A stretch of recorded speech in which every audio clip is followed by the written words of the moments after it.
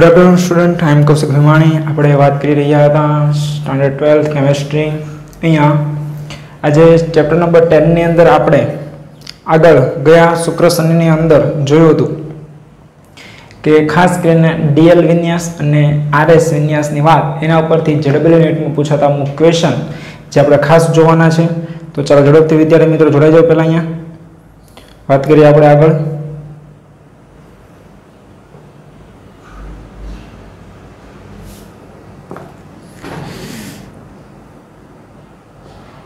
દરેકનો અવાજ ક્લિયર સંભળાઈ રહ્યો હશે અને દરેકને બરાબર દેખાઈ પણ રહ્યો હશે.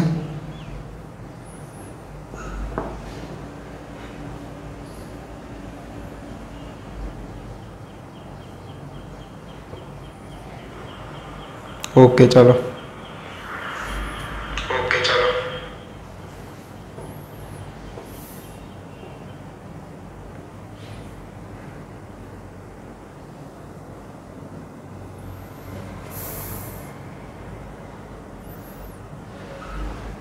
જરૂરી દરેક વિદ્યાર્થી મિત્રો પોતાના સરનેમ સાથે નામ લખશો પહેલાં.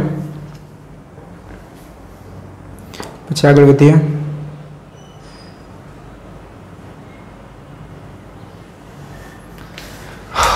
વાત કરી હતી આરએસ નામ નામકરણની આરએસ વિન્યાસ.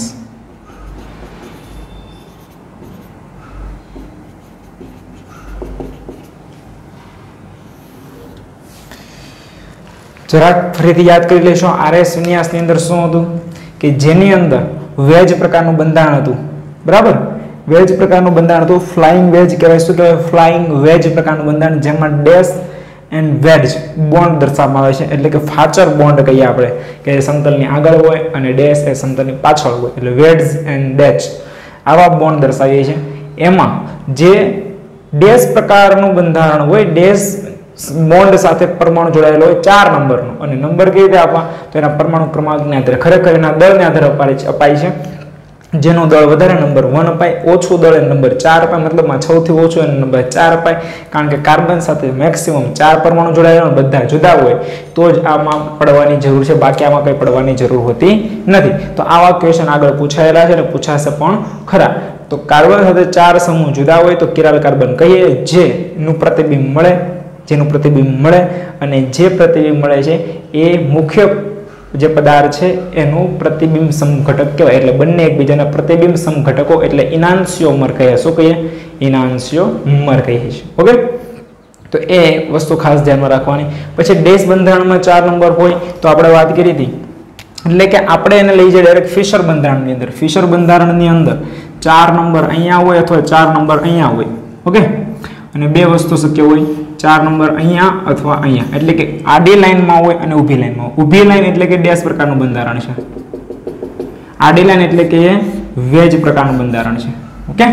એ આપણે વાત કરીએ આ હોય તો એમ જ રહેવા દેવાનું.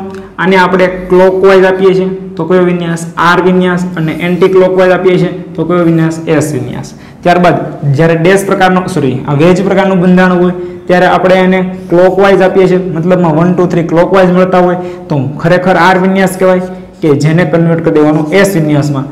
અને એન્ટી ક્લોકવાઇઝ હોય, તો ખરેખર એસ વિન્યાસ કહેવાય, તેને કન્વર્ટ કરી દેવાનો આર વિન્યાસ. એટલે કે આ વિન્યાસ એના બદલાઈ જાય છે જ્યારે આ પ્રકારના બંધારણ હોય, ત્યારે એમની વિશે આપણે વાત કરી ચૂક્યા હતા. જ્યારે એક કિરાલ કાર્બન હોય, ત્યારે આપણે વાત કરી હતી મિત્રો. ક્યારે? જ્યારે આપણી પાસે એક કિરાલ કાર્બન હોય, ત્યારે આપણે વાત કરી હતી. હવે હવે વાત કરવાની છે આપણે કે જ્યારે આપણી પાસે બે કિરાલ કાર્બન હોય, તો મેં તમને કીધું કે જ્યારે તમને એક કિરાલ કાર્બન જોવા મળે, એક કિરાલ કાર્બન, ત્યારે તે જરૂર ને જરૂર ઓપ્ટિકલ એક્ટિવ હોય. એટલે શું આપે છે? પ્રતિબિંબ સમઘટકો આપે છે. પ્રતિબિંબી સમઘટકો. કે જેના બે સમઘટક મળે છે અને બંને એકબીજાના પ્રતિબિંબ પણ છે, એકબીજા પર અધ્યારોપિત થઈ શકતા નથી, તેને શું કહે પ્રતિબિંબ સમઘટકો એટલે કે ઇનાન્શોમર કહે છે. ઇનાન શોમર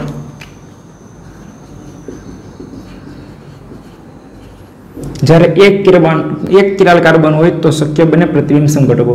જ્યારે એક પણ કિરાલ નથી, એક પણ કિરાલ નથી તો એ પ્રતિબિંબ સમઘટકો આપતા નથી એટલે ઓપ્ટિકલી ઇનએક્ટિવ ઇનએક્ટિવ જ્યારે બે કિરલ કાર્બન હોય ત્યારે જરાક તકલીફ પડે બે કિરલ કાર્બન હોય તો ઓપ્ટિકલી એક્ટિવ પણ હોઈ શકે ઓર ઓપ્ટિકલી ઇનએક્ટિવ પણ હોઈ શકે એટલે પ્રકાશ ક્રિયાશીલ પણ હોય અને પ્રકાશ અક્રિયાશીલ પણ હોય કઈ રીતે નક્કી થાય એના માટે મેં તમને વાત કરી હતી પ્લે, બે વસ્તુ જોવાની, ત્રણ વસ્તુ છે ખાસ કરીને, એક તો પ્લેન ઓફ સિમેટ્રી છે, એક તો એક્સિસ ઓફ સિમેટ્રી છે અને એક સેન્ટર ઓફ સિમેટ્રી છે. પણ બહુ હાઈ લેવલનો અભ્યાસ કરશો તમે નેટ સ્લેટની એક્ઝામની ગેટની એક્ઝામની તૈયારી કરશો, તો એક્સેસ ઓફ સિમેટ્રીની જરૂર પડે છે. અહીંયા તમને ખાસ કરીને plane of symmetry and centre of સિમેટ્રીની જરૂર પડે. તો પ્લેન ઓફ સિમેટ્રી જ્યારે એ પ્લેન ઓફ સિમેટ્રી હોય, તો ઓપ્ટિકલી ઇનએક્ટિવ હોય હું પછી વાત કરું એક તો પ્લેન ઓફ સિમેટ્રી હોય તેમજ સેન્ટર ઓફ સિમેટ્રી હોય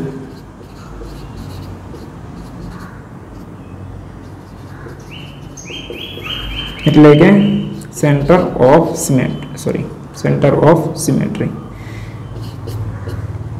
ત્યારે પણ ઓપ્ટિકલી ઇનએક્ટિવ હોય. બંનેમાંથી એક હોય તો પણ ઓપ્ટિકલી ઇનએક્ટિવ બંનેમાંથી એક હોય તો ઓપ્ટિકલી ઇનએક્ટિવ અને બંને હોય બંને હોય તો પણ ઓપ્ટિકલી ઇનએક્ટિવ અને બંને ના હોય, જ્યારે પ્લેન ઓફ સિમેટ્રી પણ ના હોય અને સેન્ટર ઓફ સિમેટ્રી પણ ના હોય, ત્યારે તે ઓપ્ટિકલી એક્ટિવ કહેવાશે. એટલે કે તે પ્રકાશ ક્રિયાશીલ કહેવાશે. ફરીથી સમજી લેશો આના ઉપરથી ઘણા ક્વેશ્ચન આવેલા છે અને આવી પણ શકે છે. બંનેની અંદર નીટમાં પણ આવી શકે જેડબલ્યુમાં આવે જેડબલ્યુ વાળા ખાસ ધ્યાન આપશો. આવા પ્રકારના ક્વેશ્ચન પૂછાય છે. જો કીધું એક પણ કાર્બન કિરાલ નથી, તો ઓપ્ટિકલી ઇનેક્ટિવ એટલે પ્રકાશ અક્રિયાશીલ છે. જ્યારે એક કાર્બન કિરાલ હોય, તો જરૂર જરૂર ને જરૂર પ્રતિબિંબ સમઘટકો આપે એટલે ઓપ્ટિકલી એક્ટિવ જ હોય એટલે પ્રકાશ ક્રિયાશીલ જ હોય અને તે પ્રતિબિંબ સમઘટક એટલે શું આપે? ઇનાન્શિયોમર આપે છે. પણ જો બે કિરાલ કાર્બન હોય, તો ઓપ્ટિકલી એક્ટિવ પણ હોઈ શકે અને ઇનએક્ટિવ પણ હોઈ શકે. તો plane of symmetry centre of અને એક્સેસ ઓફ સિમેટ્રી છે. એના આધારે જોવાનું હોય, પણ ખાસ કરીને આપણે બે આધારે જોઈએ છીએ કે પ્લેન ઓફ સિમેટ્રી છે તો optical inactive centre of symmetry છે optical inactive plane of symmetry પણ નથી, સેન્ટર ઓફ સિમેટ્રી પણ નથી, તો એ પ્રકાશ ક્રિયાશીલ કહેવાશે, તો જ ઓપ્ટિકલી એક્ટિવ કહેવાશે. બંને ના હોવા જોઈએ. હવે તમારે સમજવાનું કે પ્લેન ઓફ સિમેટ્રી શું છે? અને અને સેન્ટર ઓફ સિમેટ્રી શું છે? આ બે વસ્તુ સમજવાની આપણે રહી કે જ્યારે કોઈ પણ પ્લેન પ્લેન એટલે કે એ કોઈ એક ભાગ કહેવાય, બાજુ કહેવાય કે અક્ષ કહેવાય અક્ષ કે સોરી અક્ષ નહીં. પ્લેન અક્ષ ત્રણ જ હોય. અક્ષ કેટલી હોય? ત્રણ જ હોય. એક્સ, વાય ને ઝેડ. આવી અક્ષ હોય. જ્યારે પ્લેન છે ને, એ છ પ્રકારે પ્લેન થઈ શકે. છ પ્રકારે પ્લેન થઈ શકે. જેમ કે આપણો ઓરડો છે. ઓરડાની અંદર કેમ છ બાજુ છે? એટલે છ રીતે આપણે પ્લેન પાડી શકીએ છીએ. છ રીતે.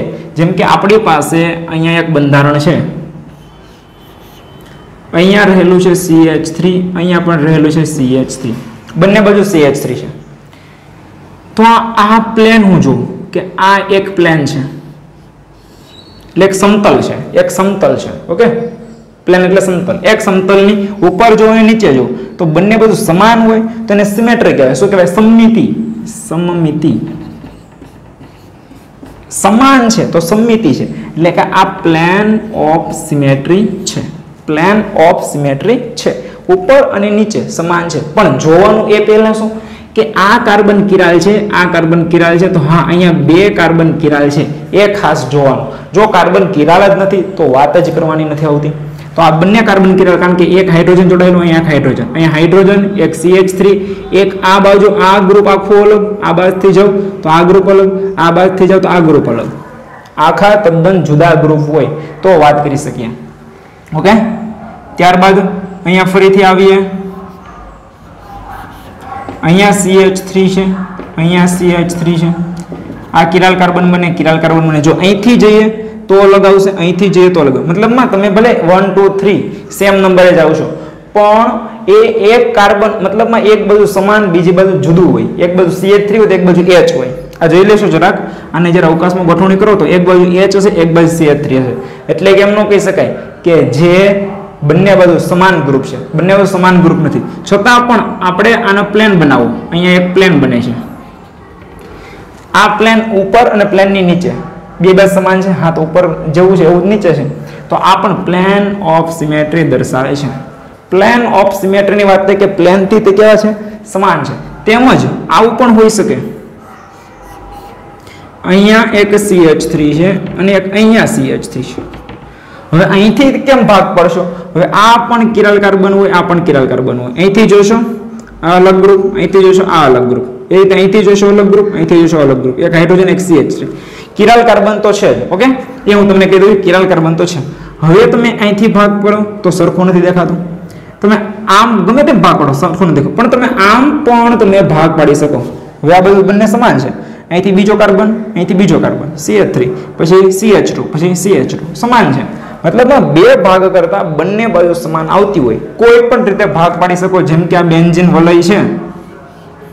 આની સિમેટ્રી તમે આમ પણ ભાગ પાડી શકો.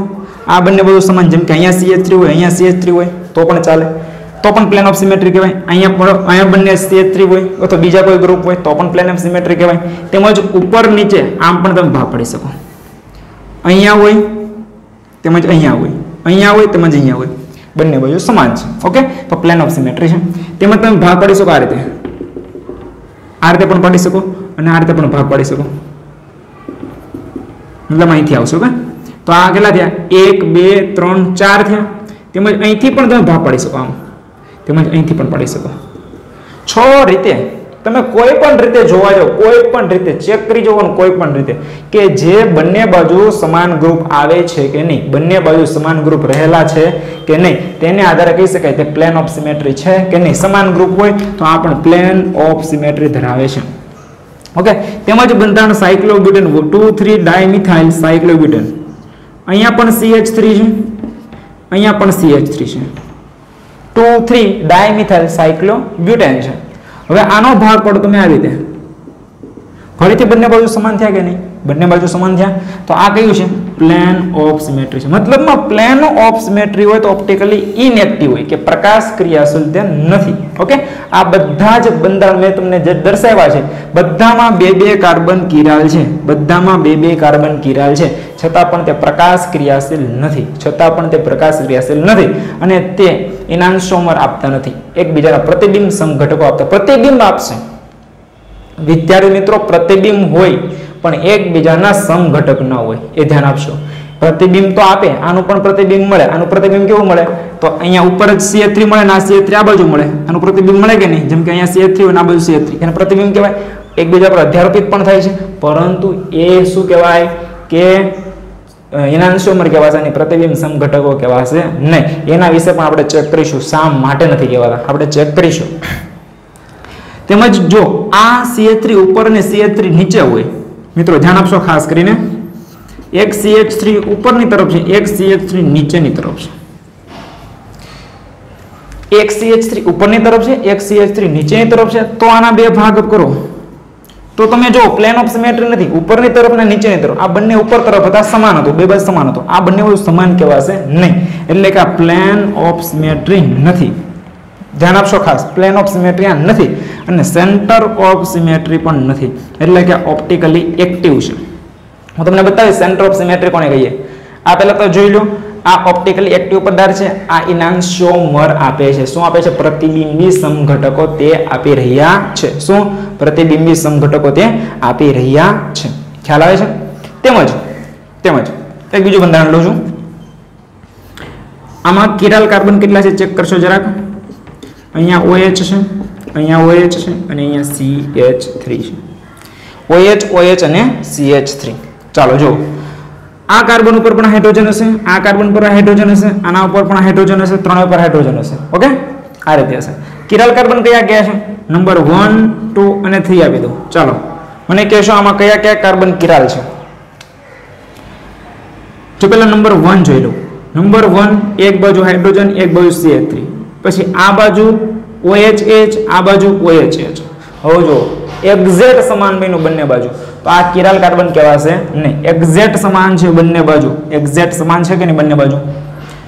પણ જો એક કાર્બન મૂકીને અહીંયા હાઇડ્રોજન આના આના પર CH3 હોત, મતલબમાં અહીંયા હજુ એક CH3 ફક્ત હોત, તો પછી કહી શકાય. કારણ કે એક CH3 છે, તો આ બાજુ પણ હશે.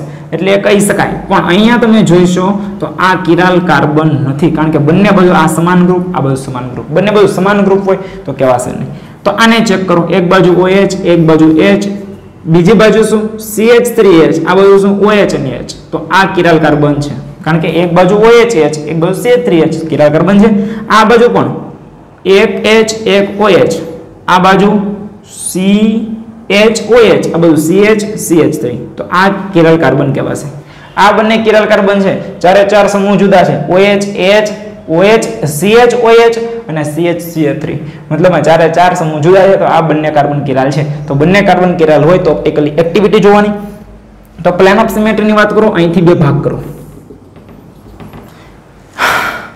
અહીંથી બે ભાગ કરો છો. તો બંને બાજુ તમે જુઓ છો, સમાન ગ્રુપ આવે છે. આ પણ સમાન ગ્રુપ આ પણ સમાન ગ્રુપ આ સમતલમાં હશે. આ CH3 ક્યાં છે સમતલમાં. ત્યાંથી સિમેટ્રી જોઈએ છે. બંને બાજુ સમાન છે. હવે એક એચ ઉપર અને એક નીચે છે. બંને બાજુ નથી. સમતલની બંને બાજુ નથી. એક ઉપર, એક નીચે. એમ જ હશે. એટલે આ લાઈન ઉપર આવશે અને બંને બાજુ કેવા આવે? સમાન ગ્રુપ આવે. આ CHOH આ CHOH મતલબમાં આ પણ પ્લેન ઓફ સિમેટ્રી છે. પ્લેન ઓફ સિમેટ્રી હોય તો ઓપ્ટિકલી એક્ટિવ ન હોય. તો ઓપ્ટિકલી એક્ટિવ ન હોય. તો તમારે બધી રીતે ચેક કરી જોવાનું કે બંને બાજુ સમાન ગ્રુપ આવવા જોઈએ નહીં. બંને બાજુ સમાન ગ્રુપ આવવા જોઈએ નહીં. જો સમાન હોય, તો આપણે શું કહીએ એને? પ્લેન ઓફ સિમેટ્રી કહીએ છીએ. સમાન ગ્રુપ હોય, શું કહીએ છીએ? પ્લેન ઓફ સિમેટ્રી કહીએ છીએ. અહીંયા CH3 છે, અહીંયા CH3 છે. જો, આ બે રીતે સેન્ટર ઓફ સિમેટ્રી પણ છે એન્ડ પ્લેન ઓફ સિમેટ્રી પણ છે. જો આ રીતે ભાગ કરો, તો નહીં થાય. તો થશે નહીં. આ રીતે ભાગ કરો તો નહીં થાય. ધ્યાન આપશો તમે ખાસ કરીને. અહીંયા આવી રીતે ભાગ કરશો આને, તો જો, બંને બાજુ દેખાય છે તમને સમાન? આ રીતે ભાગ કરશો તમને બે બંને બાજુ સમાન દેખાય છે કે નહીં? તો આ પ્લેન ઓફ સિમેટ્રી પણ છે. પ્લેન ઓફ સિમેટ્રી છે. બંને બાજુ પ્લેન કેવા છે સમાન? કે વચ્ચેના કાર્બન ઉપર CH3 વચ્ચેના કાર્બન ઉપર CH3 ઉપર જ છે. તો તમે આ રીતે ચેક કરશો. કે જે સેન્ટર સોરી આ પ્લેન ઓફ સિમેટ્રી હોય પ્લેનની બંને બાજુ સમાન ગ્રુપ હોય, તો એ ઓપ્ટિકલી એક્ટિવ હશે નહીં. એ રીતે હું સેન્ટર ઓફ સિમેટ્રીની વાત કરું. સેન્ટર ઓફ સિમેટ્રી આના ઉપરથી આપણે ક્વેશ્ચન જોવાના છે. ક્વેશ્ચન આપણને એ ફિશર બંધારણમાં, આવા બંધારણમાં આપેલા હશે. ક્વેશ્ચન ખાસ કરીને. પછી આપણે પૂછે કે કેટલા સમઘટકો મળે? કુલ કેટલા સમઘટકો? એમાંથી પ્રકાશ ક્રિયાશીલ કેટલા? એમાંથી બંધારણીય સમઘટકો કેટલા? આવું બધું આપણને પૂછી શકે એમાંથી. Centre of symmetry centre of symmetry એટલે જેમ કે આપણી પાસે અહીંયા બેન્ઝિન રિંગ છે. ઓકે બેન સોરી સાયક્લોહેક્સન છે. બેન્ઝિન રિંગ પણ નથી. આના સેન્ટરમાંથી આ તરફ જાઓ, તો આ એ કહેવાય, તો એની સામેની બાજુ આ એ છે. બંને બાજુ સમાન ગ્રુપ હોય, તો એ કેવા છે? સેન્ટર ઓફ સિમેટ્રી છે. પછી અહીંથી આ બાજુ જતા તમને બી પ્રકારનું બંધારણ મળે. અહીંથી આ બાજુ જતા તમને બી પ્રકારનું બંધારણ મળે. તો પણ કહેવાય કે એ સેન્ટર ઓફ સિમેટ્રી છે. આ સેન્ટરથી આ બાજુ તો તમને સી પ્રકારનું બંધારણ જોવા મળે. આ બાજુ પણ તમને સી પ્રકારનું બંધારણ જોવા મળતું હોય. તો એમ કહી શકે કે એ પણ સેન્ટર ઓફ સિમેટ્રી છે. મતલબમાં સામ સામે સામ સામે સામ સામે શું હોય? સમાન ગ્રુપ હોય. જરૂર નથી કે અહીંયા હોય અહીંયા હોય તો અહીંયા હોવું જોઈએ. એવું કઈ જરૂર નહીં. સામ સામે સમાન હોય તો આને કહેવાશે, આપણે શું કહેવાશે? કે centre of symmetry centre of symmetry જો ને એક્ઝામ્પલ લઈએ તો સી ડબલ બોન્ડ સી એક બાજુ સી એચ થ્રી આ બાજુ સી એચ થ્રી અહીંયા એચ અને અહીંયા એચ તો જુઓ, આ બાજુ જતા સી થ્રી આ બાજુ જતા સી થ્રી આ બાજુ જતા એચ આ બાજુ જતા એચ સમાન છે. અહીંયા સમાન છે. આપણે એક્ઝામ્પલ આ કિરાલ કાર્બન માટે નથી લીધું. સિમ્પલ એક્ઝામ્પલ લીધું છે, પણ તમે આમાં ખાલી સમજવા માટે કે સમાન ગ્રુપમાં બંને બાજુ, તો આપણે શું કહીએ છીએ આને? સેન્ટર ઓફ સિમેટ્રી કહીએ છીએ. તો ઓપ્ટિકલી ઇનએક્ટિવ ત્યાં ઓપ્ટિકલી એક્ટિવ લખ્યું તો આપણે આગળના એક્ઝામ્પલ ઓપ્ટિકલી એક્ટિવ લખાવ્યું હતું પ્લેન ઓફ સિમેટ્રી હોય તો ઓપ્ટિકલી ઇનએક્ટિવ હોય ઓપ્ટિકલી એક્ટિવ નહીં શું ઓપ્ટિકલી ઇનએક્ટિવ હોય તો આપણે ઓપ્ટિકલી ઇનએક્ટિવ હશે તેમજ જો સી ડબલ બોન્ડ સી અહીંયા CH3 હોય અહીંયા CH3 હોય અહીંયા H હોય ને અહીંયા H હોય તો તમે સામ સામે સમાન નથી તો તમે આને કહી દો કે જે ઓપ્ટિકલી એક્ટિવ છે. પ્રકાશ ક્રિયાશીલ છે? સેન્ટર ઓફ સિમેટ્રી નથી. અહીંયા સેન્ટર ઓફ સિમેટ્રી નથી. પણ તમે આ પ્લેનથી ભાગ પાડો. બંને બાજુ સમાન છે. બંને બાજુ સમાન છે. તો પ્લેન ઓફ સિમેટ્રી છે. મતલબમાં ઓપ્ટિકલી ઇનએક્ટિવ છે. ઓપ્ટિકલી ઇનએક્ટિવ છે. બંને બાજુ સમાન ગ્રુપ છે. તો પ્લેન ઓફ સિમેટ્રી તો બંને વસ્તુ ચેક કરવાની. એક પ્લેન ઓફ સિમેટ્રી ચેક કરવાની. એક એક્સેસ ઓફ સિમેટ્રી ચેક કરવાની. ઓકે આ બે વસ્તુ તમારે ધ્યાનમાં ખાસ રાખવાની. ઓકે ચલો એક બે સરસ એક્ઝામ્પલ છે લઈએ. કાર્બન સાથે અહીંયા જોડાયેલું છે CH3 થ્રી અહીંયા જોડાયેલું છે O, અહીંયા જોડાયેલું સી ડબલ બોન્ડ O, અહીંયા સી અહીંયા એચ અહીંયા CH3 થ્રી અહીંયા O, અહીંયા સી ડબલ બોન્ડ O અને અહીંયા એચ આ પ્રકારનું બંધારણ છે. તો અહીંયા જો કાર્બન, તો એક CH3 એક H, એક બાજુ Cu એક બાજુ O. મતલબમાં આ કિરાલ કાર્બન છે. કયો કાર્બન? આ કાર્બન કિરાલ છે. આ કાર્બન પણ કિરાલ છે. કારણ કે એક બાજુ H, એક બાજુ CH3 એક બાજુ O, એક બાજુ C ડબલ બોન્ડ O એટલે કિરાલ કાર્બન બંને છે. તો આને પ્લેનમાંથી બે ભાગ પાડો છો. આ બાજુ ઊભા ભાગ પાડો છો તો સમાન નથી. આમ ભાગ પાડો છો, આમ ભાગ પાડો છો, બંને બાજુ આમ સમાન આવે છે નહીં. આમ ભાગ પાડશો તો પણ સમાન નહીં આવે. કોઈ પણ રીતે ભાગ પાડશો સમાન આવતું નથી. મતલબ પ્લેન ઓફ સિમેટ્રી નથી. પ્લેન ઓફ સિમેટ્રી નથી. અહીંથી આમ ભાગ પાડો તો સમાન છે, ઉપર નીચે નહીં. જો સી ડબલ બોન્ડ હો અને ઓ અહીંયા હોત તો પ્લેન ઓફ સિમેટ્રી થાત. પણ પ્લેન ઓફ સિમેટ્રી નથી. અહીંયા સી ડબલ બોન્ડ હો, અહીંયા સી ડબલ બોન્ડ હોત. અને સી થ્રી ઉપર હોત તો. પણ તમે જો અહીંયા આ સેન્ટર થઈ ગયું. આ બાજુ જાઓ, આ બાજુ જાઓ. બંને બાજુ ઓક્સિજન આવે છે. ઉપર જાઓ સી ડબલ બોન્ડ આ બાજુ જાઓ. તો સી ડબલ સામ સામે જવાનું. સી ડબલ બોન્ડ આવે છે.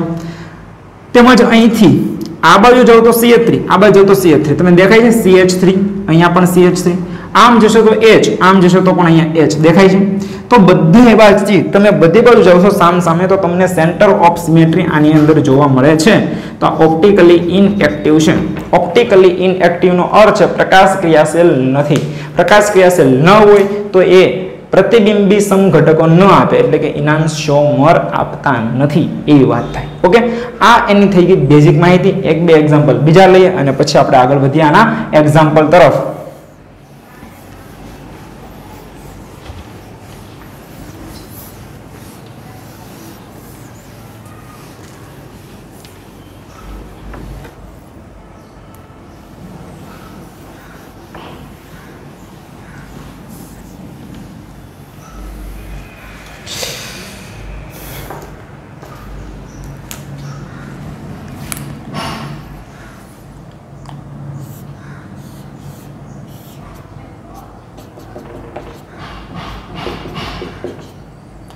હવે જો આ બંને બાજુ જઈએ તો સમાન ગ્રુપ જોવા મળે છે. આમ બંને બાજુ જઈએ તો તમે જોશો હવે હું આને ઉપર લખી દઉં ને નીચે લખી દઉં. આને ઉપર લખું અને આને નીચે લખું. છેક નહીં હજુ જો ઉપર અને નીચે મતલબમાં સેન્ટરમાંથી તમે આમ જશો એક મતલબમાં એક અહીંયા વચ્ચે રહેલું હોય, વચ્ચે કાર્બન છે, તો એક કાર્બન CH3 ઉપર છે, સામે કાર્બન રહેલો ખૂણામાં, તો એ CH3 નીચે છે. મતલબમાં સેન્ટરમાંથી તમે ઉપર જાવ ને સેન્ટરમાંથી નીચે જાવ મતલબમાં બંને બાજુ તમને CH3 જોવા મળે છે. એવી વાત થઈ કે અહીંયા પણ CH3 છે ઉપર, અહીંયા પણ CH3 છે નીચે. ઉપર અને નીચે. જો બંને બાજુ નીચે હોત તો શું થાત?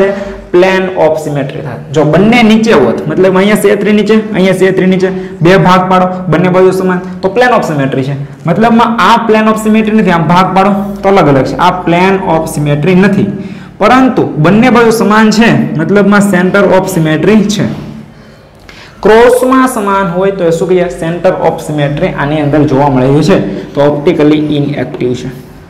તેમજ એક્ઝામ્પલ લઈએ આપણે.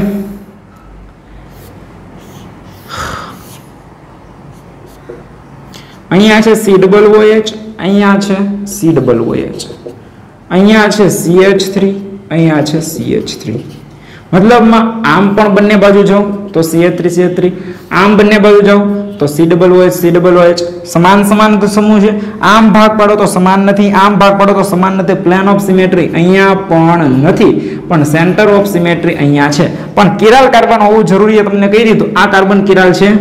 ચેક કરી લેશો કાર્બન કિરાલ છે, તો સી ડબલ ઓએચ અહીંયા એચ સી ડબલ ઓએચ અહીંયા એચ અહીંયા સીએચ થ્રી પછી સમૂહ આવશે સી ડબલ ઓ એચ અહીંયા સીએચ થ્રી સમૂહ આવશે સી ડબલ એચ પણ મેં તમને કીધું કે બંને સમૂહ આ સમાન હોય, પણ એની પછી એક સમૂહ રહેલો હોય, તો આ કિરાલ કાર્બન કહેવાશે કારણ કે અહીંયા એક જ સમૂહ રહેલો છે.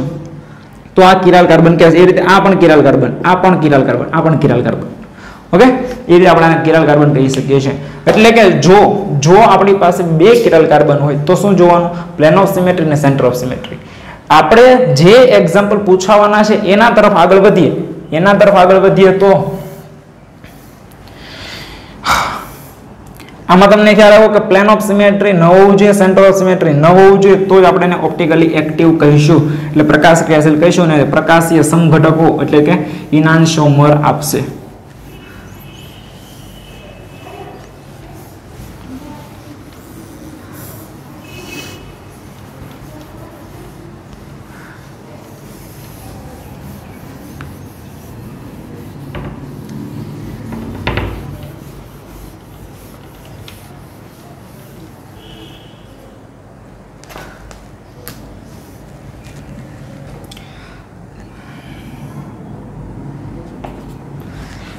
એક્ઝામ્પલ જોઈએ તો.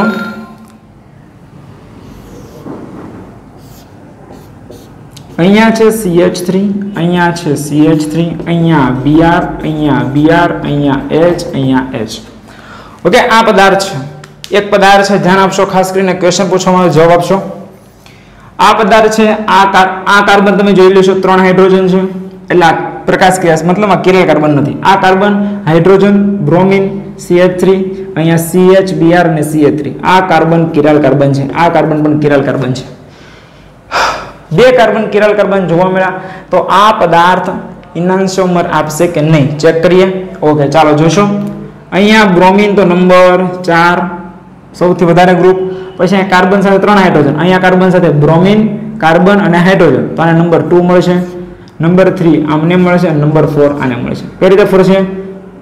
સોરી આ નંબર વન આપશે ને number one one two three એટલે આ રીતે ફરશો. એટલે શું થયું આ? આર વિન્યાસ થયો આર વિન્યાસ આડી લાઈનમાં હાઇડ્રોજન.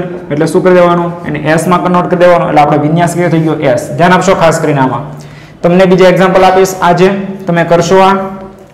આના સવાલોમાં પૂછીશ. કારણ કે આવા સવાલ જ પૂછાય છે. ફરીથી આ કાર્બનમાં જોઈએ. આને નંબર વન આપીએ. નંબર વન પછી આખાને આ આખાને આ કાર્બનને શું આપીએ? નંબર ટુ તો નંબર ટુ પછી આને નંબર થ્રી અને નંબર અને ફોર તો વન ટુ થ્રી એટલે ઊંધું ફરવા. ઊંધું ફરે એટલે કયો વિન્યાસ કહેવાય? એસ વિન્યાસ. એને કન્વર્ટ કરી દેવાનો આરમાં કારણ કે હાઇડ્રોજન ક્યાં છે? આડી લાઇનમાં મતલબ ચોથો નંબર આડી લાઇનમાં તો આને નંબરિંગ કઈ રીતે અપાય? આનું નામકરણ કેવું હોય છે? નંબર અહીંથી ગણો. One carbon two carbon three carbon અને ફોર કાર્બન ટુ ઉપર કયો વિન્યાસ આવ્યો? આર અને થ્રી ઉપર કયો? આવ્યો એસ તો ટુ આર થ્રી એસ. બંને બાજુ સમાન સમૂહ હોય તો ટુ આર થ્રી એસ કહી શકો, તો ટુ એસ થ્રી આર પણ કહી શકો. બંને તમે લખી શકો છો. આને તમે આમ પણ લખી શકશો કે ટુ એસ થ્રી આર. આવું લખેલું હોય, આવું લખેલું હોય, એનું નામકરણ છે કે ટુ નંબર એસ વિન્યાસ ધરાવે છે, થ્રી નંબર આર વિન્યાસ ધરાવે છે. આ છે જેડબલ્યુ મેન તેમજ એડવાન્સની અંદર ખાસ કરીને પૂછાતા સવાલ હોય આ. હવે આની અંદર એક એસ વિન્યાસ હોય, એક આર વિન્યાસ હોય. જે રીતે આપણે કેમ કે ડી ડી વિન્યાસ એક, એલ વિન્યાસ હોય. તો એક સમાન સોરી જુદા જુદા વિન્યાસ હોય, એક એસ અને એક આર હોય ને, તો એ એની અંદર કોઈ પણ પ્રકારનું પ્રકાશ ક્રિયાશીલતા રહેતી નથી. એટલે કે ધ્રુવીભૂત પ્રકાશને તે ભ્રમણ કરી શકતો નથી. જેમ કે આ અડધો ભાગ છે, આ અડધો ભાગ છે. તમે પહેલા તો જોઈ જ શકો છો. ઉપર અને નીચે. પ્લેન ઓફ સિમેટ્રી છે કે નહીં? જુઓ તમે. ઉપરની બાજુ જુઓ અને નીચેની બાજુ જુઓ. પ્લેન ઓફ સિમેટ્રી દેખાય છે? હા, તો બધું બીઆર તો અહીં નીચે બીઆર ઉપર સીએચ થ્રી તો નીચે સીએચ થ્રી અહીંયા એચ અહીંયા એચ આ પ્લેન ઓફ સિમેટ્રી છે, મતલબમાં ઓપ્ટિકલી એક્ટિવ ન હોય. ઓપ્ટિકલી એક્ટિવ તે ન હોય, એટલે ઓપ્ટિકલી ઇનએક્ટિવ છે. શા માટે? તો તમે જુઓ કે અહીંયા એક એસ વિન્યાસ છે, એક આર વિન્યાસ છે. એક એસ હોય, એક આર હોય, તો બંનેનો સરવાળો કરો ને, એટલે જીરો એટલે કે પ્રકાશ ક્રિયાશીલતા રહેતી નથી. પ્રકાશ ક્રિયાશીલ રહેતી નથી એટલે ધ્રુવભૂત પ્રકાશને તે કોણાવર્તન કરાવી શકતો નથી. કારણ કે એક જમણી બાજુ કરાવે તો બીજું એટલું જ ડાબી બાજુ કરાવે મતલબમાં ધ્રુવભૂત પ્રકાશનું કોણાવર્તન કરાવી શકે નહીં. એટલા માટે એક એસ અને એક આર હોય, તો ઓપ્ટિકલી એક્ટિવ હોતા નથી. એનો ધ્રુવભૂત પ્રકાશ કોણાવર્તન પામી શકતો નથી. એટલે કે બંને એસ વિન્યાસ હોવો જોઈએ અથવા બંને આર વિન્યાસ હોવો જોઈએ. બંને એસ અથવા બંને આર વિન્યાસ હોવા જોઈએ. વિદ્યાર્થી મિત્રો એની વાત થાય છે. ઓકે? તેમજ હું વાત કરું. તેમજ જો હું વાત કરું આ રીતે હોય. આપશો ખાસ. નીચે લખું છું. અહીંયા પણ સીએચ થઈ છે. અહીંયા બીઆર છે, અહીંયા એચ છે, અહીંયા એચ છે, અને અહીંયા વીઆર છે, અને અહીંયા CH3 છે. આનો પ્રતિબિંબ જોવો. આનું પ્રતિબિંબ પણ મળે? પ્રતિબિંબ તો મળશે, પણ ઇનાન્સોમર મળશે નહીં. એકબીજા પર અધ્યારોપિત પણ કરી શકતા નથી, પણ છતાં પણ પ્રકાશ ક્રિયાશીલ તે નથી. વિદ્યાર્થી મિત્રો, આ બહુ મહત્વની વાત છે. એકબીજા પર અધ્યારોપિત કરી શકાતા નથી, છતાં પણ પ્રકાશ ક્રિયાશીલ નથી, કારણ કે એક એસ અને એક આર વિન્યાસ છે. આનું પ્રતિબિંબ મેળવીએ તો શું મળશે? અહીંયા Br અહીંયા એચ, અહીંયા Br અહીંયા એચ, અહીંયા CH3 અહીંયા CH3 ઓકે? કિરાલ કાર્બન તો દેખાય છે તમને બે કાર્બન કિરાલ છે. કયા કયા? એક કાર્બન આ છે કિરાલ, એક કાર્બન આ છે. એ રીતે આમાં પણ મળશે. આ કિરાલ કાર્બન, આ કિરાલ કાર્બન. બે કિરાલ કાર્બન હોય તો સમજવું બહુ જરૂરી છે. તમે જુઓ હવે. નંબર ફોર આને આપશો? Four number. Two number sorry one number આને આપશો? સૌથી વધારે પરમાણુ ક્રમાંક. પછી ટુ નંબર, આખા સમૂહને આપશો કારણ કે હેવી ગ્રુપ થઈ ગયો. તો નંબર ટુ થઈ ગયો. નંબર થ્રી નંબર ફોર હવે one two three one two three આ રીતે ફરશું. વન ટુ થી થ્રી તરફ. વન ટુ થ્રી કયો વિન્યાસ થાય? આર વિન્યાસ. કન્વર્ટ કરવાનો શેમાં આડી લાઈનમાં હોય તો એસમાં તો આ એસ વિન્યાસ છે. એવી રીતે અહીંયા. નંબર વન આમને ટુ આમને થ્રી અને ફોર તો વન ટુ થ્રી તરફ. વનથી ટુ ટુથી થ્રી તો આ રીતે થયું. આ કયો વિન્યાસ? આમ કયો વિન્યાસ? તો આર વિન્યાસ. કન્વર્ટ કરવાનો છે એસ વિન્યાસમાં. તો એસ વિન્યાસ એસ વિન્યાસ એસ વિન્યાસ. મતલબમાં બંને એક જ બાજુ. સિનિસ્ટર એટલે શું કહીએ છીએ સિનિસ્ટર એટલે કે જે ડાબી બાજુ કોણ આવર્તન કરે છે? રેક્ટસ એટલે કે રેક્ટસ એટલે રાઈટ રેક્ટસ એટલે રાઈટ બાજુ એટલે કે જમણી બાજુ કોણ આવર્તન છે આ ફક્ત ડાબી બાજુ કોણ આવર્તન છે આમાં બંને, આ સમૂહ છે, આ કિરાલ કાર્બન એ પણ ડાબી બાજુ કરશે, આ કિરાલ કાર્બન એ પણ ડાબી બાજુ કરશે. બંને ડાબી બાજુ કોણ આવર્તન કરે છે? એટલે આની અંદર આની અંદર કે પ્રકાશીય સમઘટકો મળશે, એટલે ઇનાન્સોર મળશે ઇનાન્સોમર મળશે. આને ઘટક એ કહીએ, આને ઘટક બી કહીએ અને આને ઘટક થ્રી કહીએ. ઘટક થ્રી કહીએ.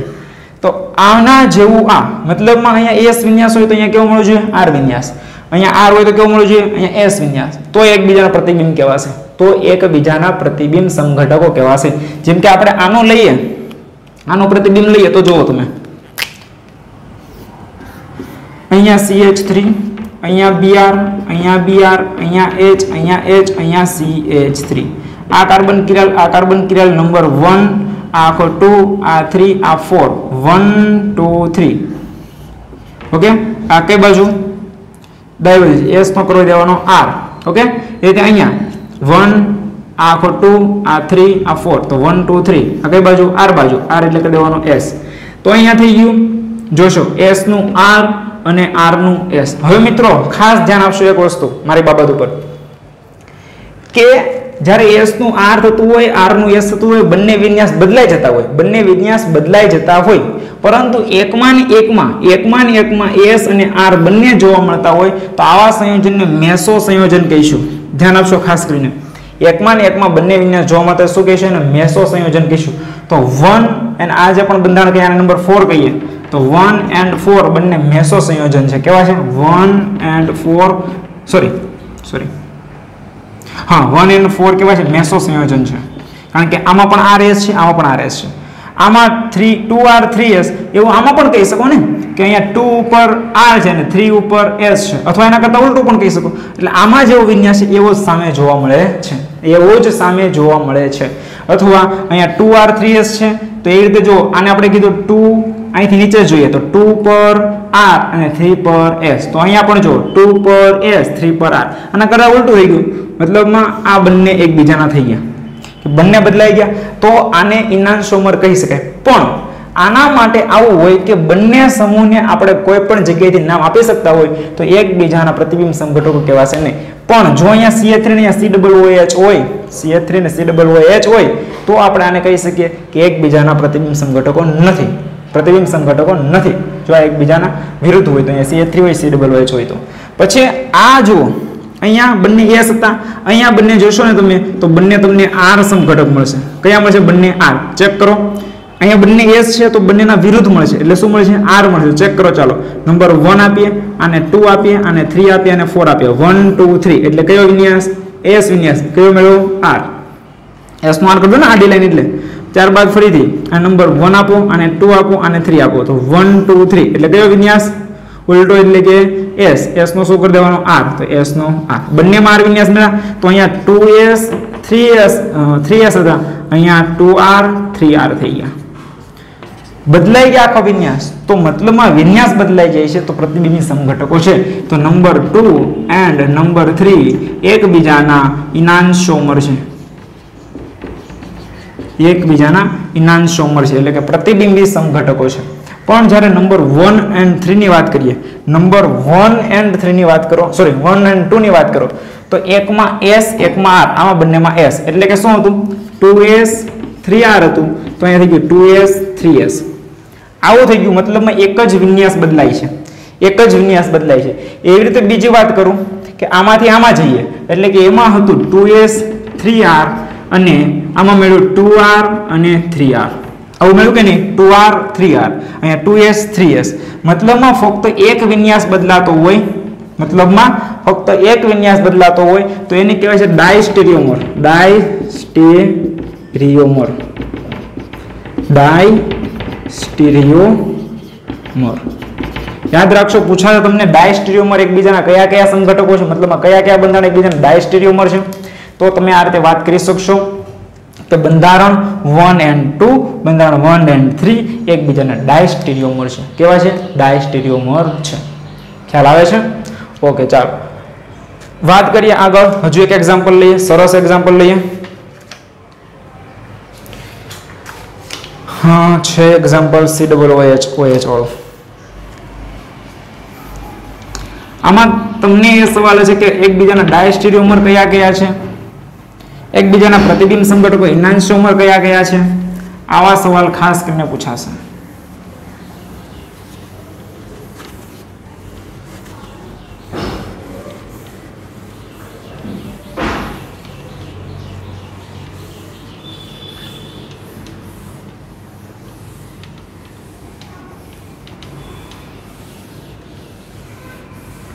જો એટલું ડિટેલમાં તમને એક સાથે બધે નહીં મળે બધી બુકમાં થોડું થોડું મળશે તમને. એક સાથે બધે મળશે નહીં. જો હું ચાર બંધારણ દોરું છું અહીંયા, ધ્યાન આપશો, ચાર બંધારણ દોરું છું. અહીંયા સી ડબલ ઓ એચ છે, અહીંયા ઓ એચ અહીંયા ઓ એચ અહીંયા સી ડબલ ઓ એચ અહીંયા એચ એન્ડ અહીંયા એચ ઓકે બંધારણ એક. બીજું બંધારણ O H O H H H C double O H C double O H બંધારણ ટુ બંધારણ થ્રી છે.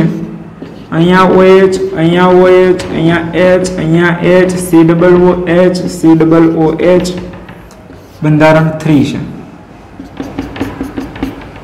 C double O H C double O H અહીંયા ઓ એચ અહીંયા ઓ એચ અહીંયા એચ અહીંયા એચ બહુ સારી રીતે સમજી લેશો. આના પછી હું એક્ઝામ્પલ તમને કરવા આવીશ. આ એક્ઝામ્પલ જો હું કરાવું છું, ધ્યાન આપશો. બધા કાર્બન, કિરાલ કાર્બન છે, પહેલી વાત કરી દઉં તમને. જોઈ લેશો તમે ચેક કરી લેશો. આ કાર્બન, કિરાલ નથી, કારણ કે એક બાજુ ડબલ બોન્ડ ઓ એચ આ બાજુ પણ ઓ કાર્બન સાથે ત્રણ ઓક્સિજન છે, એવું જોઈ લઈએ અહીંયા. અહીંયા પણ એચ છે. અહીંયા કાર્બન સાથે સી ડબલ એચ અહીંયા ઓ એચ અહીંયા એચ અને આખો સમૂહ, એટલે અલગ જ છે. નંબર વન ક્યાં પાસે મતલબ આ કાર્બન, આ હાઇડ્રોજન આ ઓક્સિજન આ કાર્બન. નંબર વન અહીંયા પાસે ઓક્સિજન વધારે પરમાણુ ક્રમાંક પછી સી ડબલ બોન્ડ ઓ, તો સી સાથે અહીંયા ઓ અહીંયા ઓ. મતલબ આ ત્રણ ઓક્સિજન છે. C double bond O H કેટલી લખાય? C double bond O O H. અને અહીંયા પણ શું લખાય? બોન્ડ બ્રેક એટલે ઓક્સિજન. આ કાર્બન સાથે એક ઓ છે, એક સી છે અને એક એચ છે. તો નંબર ટુ આને મળશે. ધ્યાન આપશો, નંબર ટુ આને મળશે કે નહીં? સી ડબલ એચ ને હાયા ના બોલશો? હાયા ના બોલશો? વિકી સાવલિયા? વિકી સાવલિયા. નંબર ટુ કોને આપીશું સી ડબલ એચ ને આપીશું કે નહીં?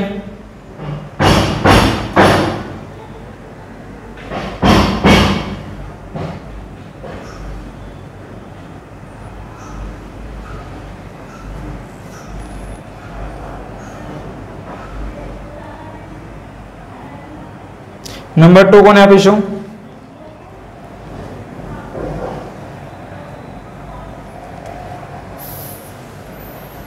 છે, વિક્કી સાવલિયા છે?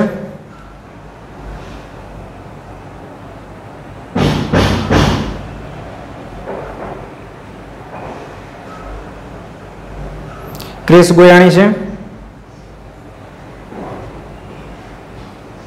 નિમેશ સોનાણી છે?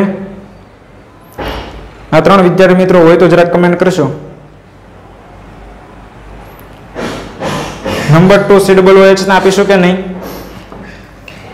ત્રણ ઓક્સિજન છે કાર્બન સાથે, એટલે કે અહીંયા આઠ આઠ આઠ પરમાણુ ક્રમાંક છે આ કાર્બન સાથે, એક જ ઓક્સિજન એક કાર્બન અને હાઇડ્રોજન છે. નંબર ટુ આપીશું નંબર થ્રી આને આપીશું નંબર ફોર આને આપીશું. ઓકે તો વન ટુ અને થ્રી તરફ જઈએ, તો ઉલટું થયું, એટલે કયો વિન્યાસ? એસ વિન્યાસ. આડી લાઈનમાં હોય તો શું કરી દેવાનો? આર વિન્યાસ. ઓકે ફરીથી. અને નંબર વન આપીએ નંબર ટુ આને આપીએ નંબર થ્રી આમને આપીએ નંબર ફોર આને આપીએ.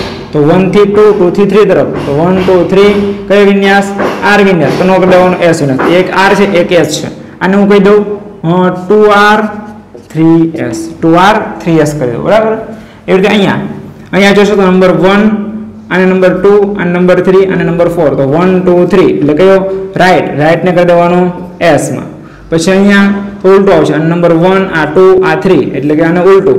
એટલે આ થઈ ગયો એસ ને કરી દેવાનો આર એટલે કે આ થઈ ગયું એના કરતાં ઉલટું. ટુ એસ થ્રી આર વિન્યાસ થઈ ગયો. ઓકે આને વાત કરીએ તો નંબર વન ટુ થ્રી તો આ રીતે આવ્યું. તો આ કયો વિન્યાસ? એસ વિન્યાસ. એસને કરી દેવાનો. આર તેમજ અહીંયા વન આ ટુ આ થ્રી આ કઈ આવ્યું? એસ આ પણ ઉલટું જ તો એસને કરી દેવાનો આર ફરીથી અહીંયા. નંબર વન ટુ થ્રી તો કઈ આવ્યું? આર આરને કરી દેવાનો એસ અને અહીંયા વન ટુ થ્રી તો આરને કરી દેવાનો એસ તો આ મળ્યું આપણને ટુ આર થ્રી આર આ મળ્યું આપણને ટુ એસ થ્રી એસ આવા તમને બંધારણ જ્યારે મળતા હોય, આવા બંધારણ તમને જ્યારે આપેલા પણ હોય, આપેલા પણ હોય અને મળતા પણ આ મોટે ભાગે આપેલા હોય બંધારણ, ઓકે? એકબીજાના શું શું રિલેશન છે એ આપણને પૂછે છે. નંબર આ ફોર નંબરનું છે. નંબર વન ટુ વચ્ચે કયો સંબંધ? ટુ થ્રી વચ્ચે થ્રી ફોર વચ્ચે કયો સંબંધ છે? એકબીજા વચ્ચે એ આપણે જણાવવાનું છે.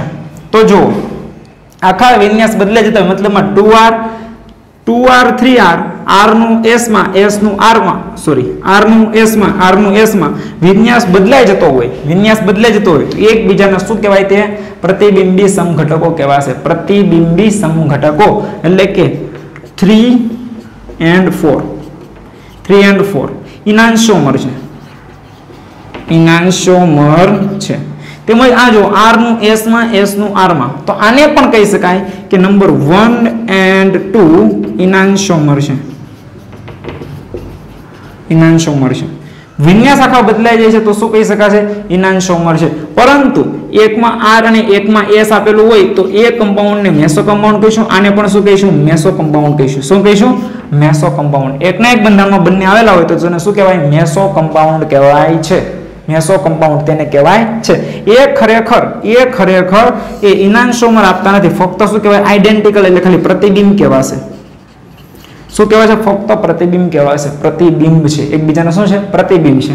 જ્યારે તમે જો વન એન્ડ થ્રી વચ્ચેની કમ્પેરિઝન કરો, તો વન એન્ડ થ્રીમાં જુઓ, કે અહીંયા two R three S two R three R મતલબમાં એક જ વિન્યાસ ચેન્જ થાય છે. એક જ વિન્યાસ ચેન્જ થતો હોય. એક જ વિન્યાસ ચેન્જ થતો હોય, તો એને ડાયસ્ટીરિયોમર કહેવાય. તો વન એન્ડ થ્રી ઓકે ત્યારબાદ વન એન્ડ ફોર પણ જો આમાં ટુ આર થ્રી એસ છે, આમાં ટુ એસ થ્રી એસ છે. તો વન એન્ડ ફોર એ પણ એકબીજાના શું કહેવાય? ડાયસ્ટીરિયોમર છે તેમજ ટુ સાથે તમે થ્રીની કમ્પેરિઝન કરો. તો એમાં પણ એવું કહેવાય છે ટુ એન્ડ થ્રી તેમજ ટુ એન્ડ ફોર આ બધા એકબીજાના ડાયસ્ટીરિયોમર છે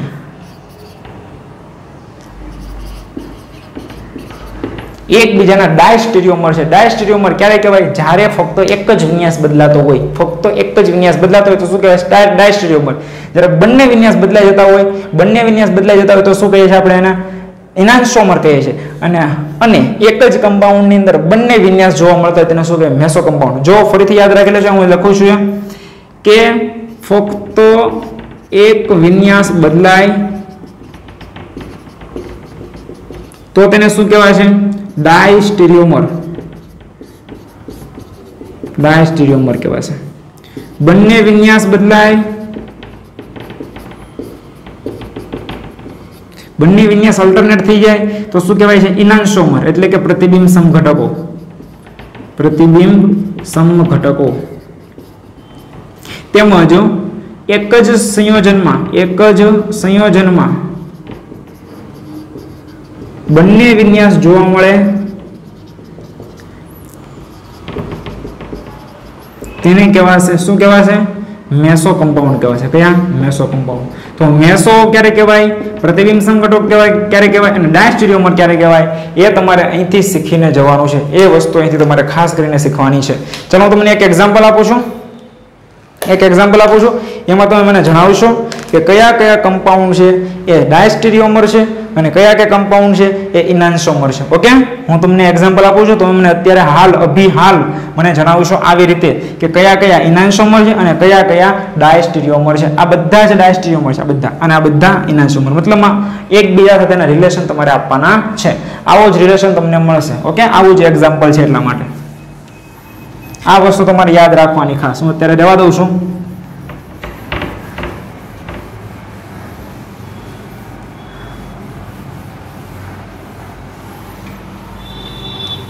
ઝડપ કરશો તમે જરાક.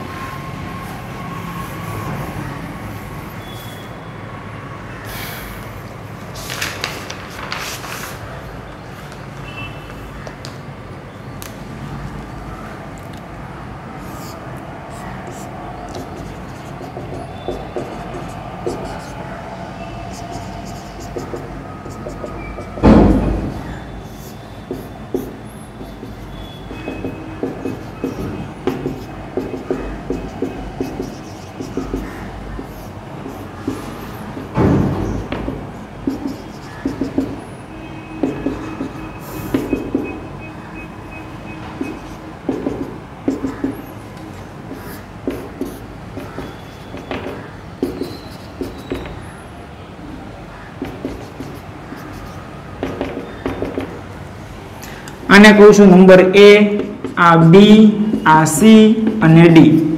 બધા વચ્ચેનું રિલેશન આપો. એ બી વચ્ચેનું રિલેશન એ સી વચ્ચેનું, એ ડી વચ્ચેનું બીસી વચ્ચેનું અને સી ડી વચ્ચેનું. Okay?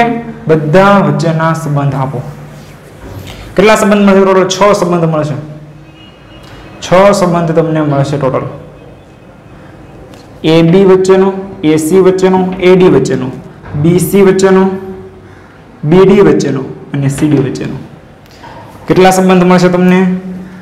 A and B A and C A and D B and C B and D and C and D એકબીજાના શું કહેવાશે એ મને જણાવશો. ચાલો, ઝડપ કરશો. અને કોણ કોણ વ્યવસ્થિત ધ્યાન આપી રહ્યું છે એ હમણાં આપણને ખ્યાલ આવે.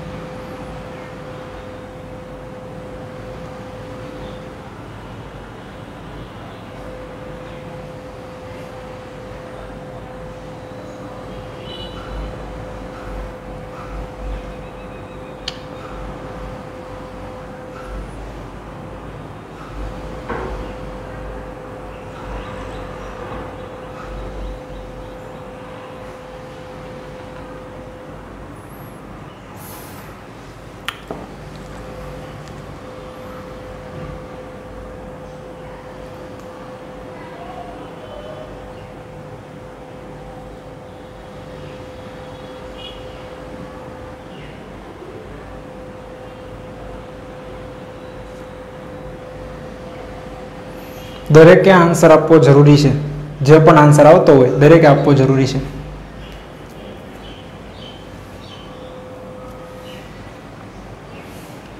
એ બી ડાયસ્ટેરિયોમર છે.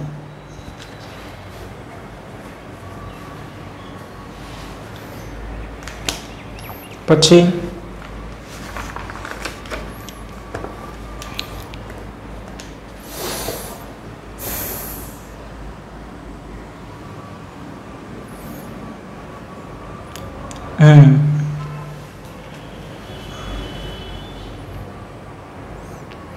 પછી એસી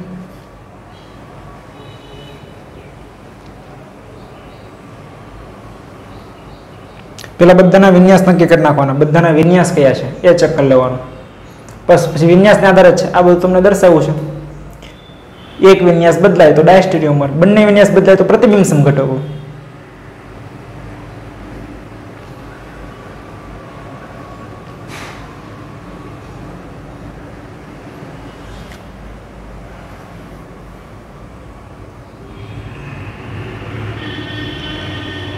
ગૌતમ ગેડિયા છે, સૃષ્ટિ પટેલ છે, હેતવી પટેલ છે, રુચિતા દવે છે. દરેક વિદ્યાર્થીને નોટિસ કરવામાં આવે છે કોણ કોણ આન્સર આપી રહ્યા છે, કોણ કોણ લેક્ચરમાં હાજર છે, કોણ કોણ ખાલી એટેન્ડન્સ પુરાવા માટે આપે છે.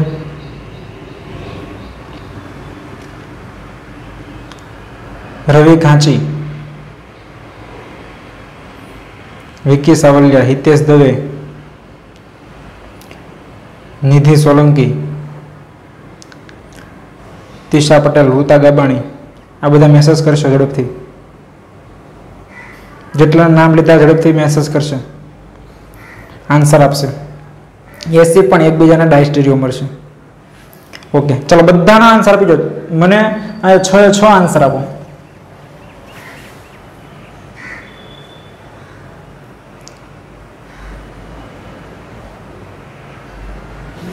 એ એન્ડ બી પ્રતિબિંબ છે.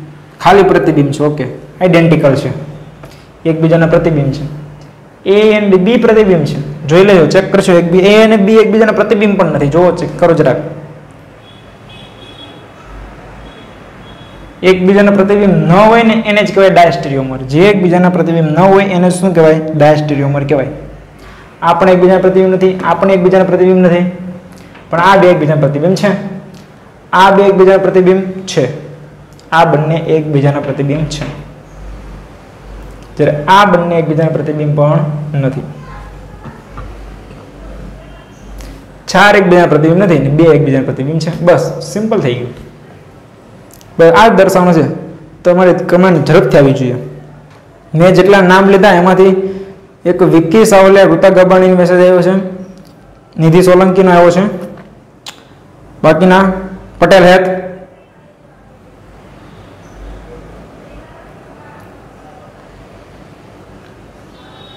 કેયુર બાવીસી પટેલ હેત.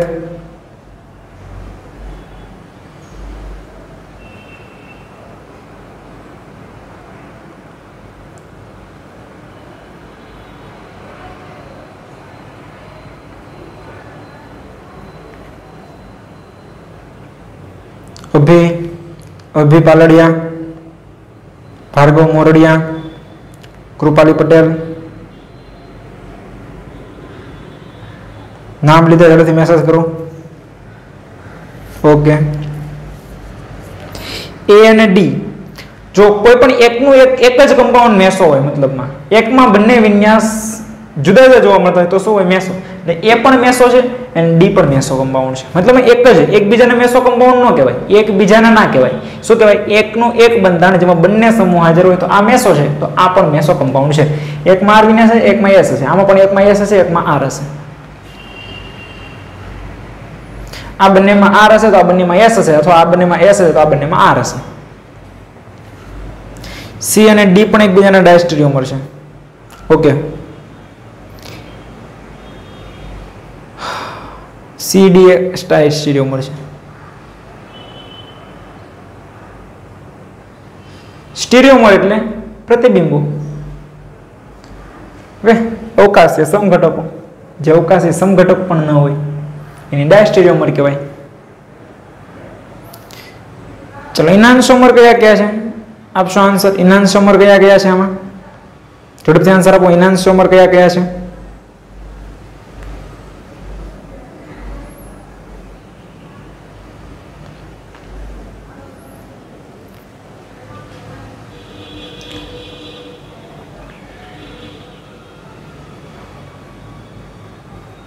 B and C B C એ એકબીજાના ઇનાન્સોમર છે.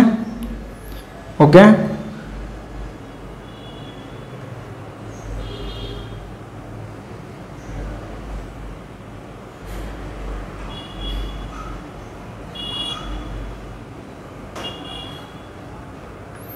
બીજા કોઈ?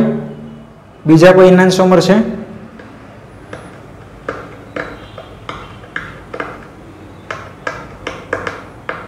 એ એન્ડ ડી પણ એકબીજાને ઇનાન્સોમર કહી શકાય? કારણ કે બંને વિન્યાસ બદલાય છે. એસ નો આર થાય આર નો એસ થાય. આર નો એસ થાય એસ નો આર થાય.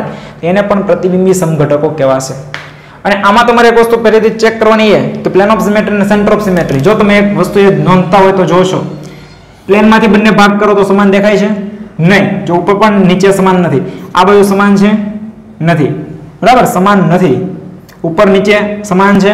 હા. પણ આ બાજુ સમાન નથી. આ બાજુ સમાન છે? હા. ઓકે? તો આને શું કહેવાય આપણે? કે જે સેન્ટર ઓફ સિમેટ્રી નથી સેન્ટર ઓફ સિમેટ્રી નથી. પ્લેન ઓફ સિમેટ્રી પણ નથી. તો ઓપ્ટિકલી એક્ટિવ હોય ઓપ્ટિકલી એક્ટિવ હોય. આ એક કમ્પાઉન્ડ તમે જોઈ લેશો.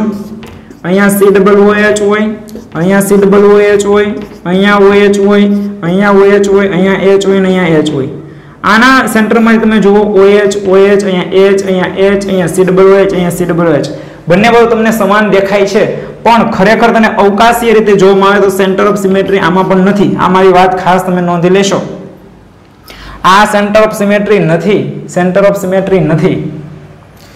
સેન્ટર ઓફ સિમેટ્રી આ પદાર્થ નથી. ચેક કરી લેશો તમે ખાસ કરીને. હું તમને કહું છું, આ ઓપ્ટિકલી એક્ટિવ પદાર્થ છે. ઓપ્ટિકલી એક્ટિવ પદાર્થ છે. ઓપ્ટિકલી એક્ટિવ છે. તમને એમ થાય કે આ સેન્ટરમાંથી બધા સમાન તો દેખાય છે, પણ આના વિન્યાસ ચેક કરી લેવાના. નંબર વન આપો આને ટુ આપો આને, આખાને થ્રી આપો આને ફોર આપો. વન ટુ થ્રી ઉલટું આવ્યું તો એસ એસનું કરી દેવાનું આર ફરીથી આનું જુઓ. વન આને આપવાનું ટુ આને આપવાનું થ્રી તો વન ટુ થ્રી આ ઉલટું આવ્યું. ઉલટું એટલે કે શું કહેવાય? ઉલટું એટલે શું કહેવાશે આ? એસ એસનું કરી દેવાનું. ઉલટું એટલે એસ જ કહેવાય ને? એસનું કરી દેવાનું આર બંને આર છે, મતલબમાં. બંને કંઈક પ્રકાશનું ધ્રુવીય પ્રકાશનું કોણાવર્તન કરે છે? બંને સમાન હોય તો કોણાવર્તન કરશે? કરશે ને કરશે. એટલે કે તે કેવો છે? પ્રકાશ ગેસેલ છે ઓપ્ટિકલી એક્ટિવ છે. તમને બંને તો ચેક કરી લેશો. ખાસ કરીને હજુ એક એક્ઝામ્પલ આપું છું. આના માટે પણ તમે ચેક કરી લેશો. અહીંયા સી ડબલ હોય એચ હોય, અહીંયા સી એચ ઓ હોય. અહીંયા ઓ એચ અહીંયા બીઆર લઈ લઉં. અહીંયા પણ હું બીઆર લઈ લઉં. અહીંયા એચ લઈ લઉં, અહીંયા એચ લઈ લઉં. તમને બંને બધું સમાન દેખાય છે? સેન્ટર ઓફ સિમેટ્રી તમને દેખાય છે. સેન્ટર ઓફ સિમેટ્રી દેખાય પણ ચેક કરી લેવાનું. આ પણ ઓપ્ટિકલી એક્ટિવ છે સેન્ટર ઓફ સિમેટ્રી ખરેખર નથી. આવી સેન્ટર ઓફ સિમેટ્રી આમાં હોતી નથી. ભલે આ રીતે સમાન દેખાતા હોય, પણ આ બંધારણો ખરેખર સેન્ટર ઓફ સિમેટ્રી દર્શાવતા નથી, ખરેખર. ઓકે? ચાલો આની પછી તમને સમઘટકો વાળા એક્ઝામ્પલો છે કે કેટલા ટોટલ સમઘટક આપે? આવું તમારે ખાસ કરવાનું. પછી આપણે એસ એસએન વિની સોરી એસએન પ્રક્રિયાઓની વાત કરીશું. ન્યુક્લિયોફિલિક સબસ્ટિટ્યુશન રિએક્શનની અને પછી આપણે એલિમિનેશન રિએક્શન છે. આના વિશે આપણે આગળ વાત કરી ચૂક્યા છે અને થોડીક ટૂંકી વાત કાલે કરી લઈશું. જેનાથી આપણું ચેપ્ટર કમ્પ્લીટ થાય આ. એના વિશે સવાલ આવતો હોય તો એના અંશુક પણ આપણે જોઈ લઈશું, ઓકે? તો અહીંયા આપણે અટકાવીએ છીએ. જય હિન્દ, વંદે માતરમ.